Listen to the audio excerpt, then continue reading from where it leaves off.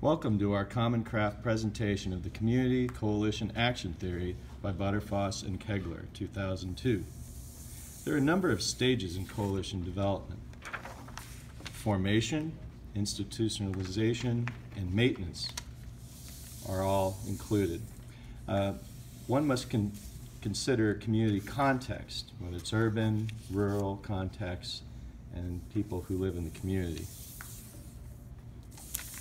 Lead agency is best to emerge and to gather up valuable resources and to deliver education, deliver funding, and create partnerships.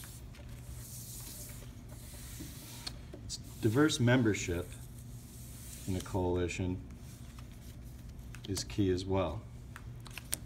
Recruitment of many stakeholders in different organizations help diversify and strengthen the coalition.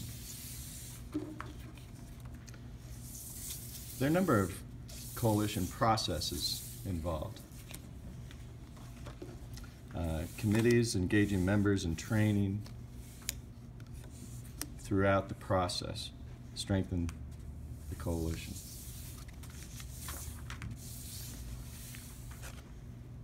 With regard to leadership, staff is trained, members create synergy when unified by a common goal. Structure is provided through different rules, bylaws,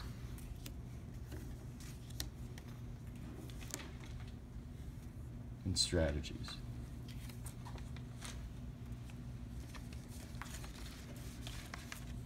Member engagement increases with encouragement and support.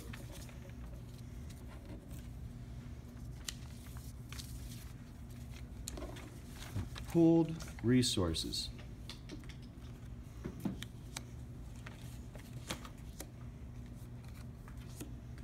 Pooled resources help the coalition to be strong.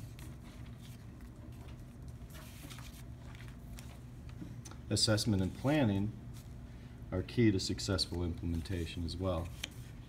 For example, using the SPIF to guide towards the goal.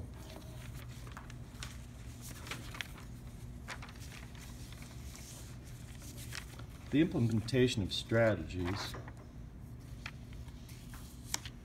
involves community change, uh, and policies environment can change for the better.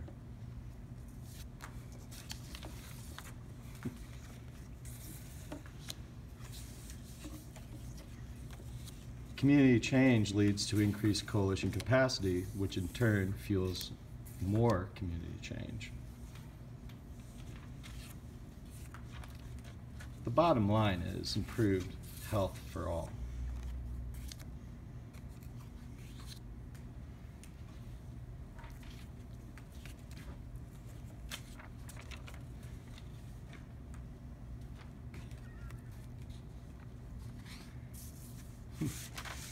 Thank you. This has been a presentation of, well, us. For more information, see pfs.ohio.gov. And thanks again for watching.